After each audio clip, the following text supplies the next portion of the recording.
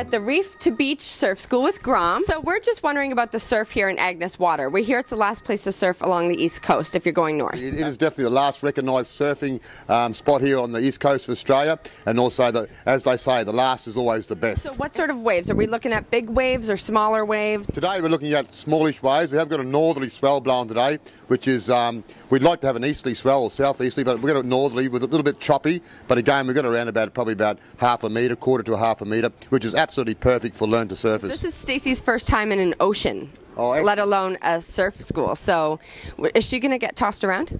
She might get a little bit tossed around. We call it a heavily tossed around. We call it ragdolled, but no, she won't be like that. But again, she's going to have heaps of fun. Stacey will have today, and also she's going to absolutely have a ball. And definitely, I reckon Stacey's going to get up. Are there any things that we should be watching for while surfing? Yeah, always watching for um, try and pick out the best waves. Wave selection is very important. Paddling is one of the hardest things to do with surfing because if the, a good paddler is a good surfer, beautiful blue water down there. We've got a lifeguard on the beach. It's a patrol, it's a patrol beach. We're going to have heaps and heaps of fun, girls.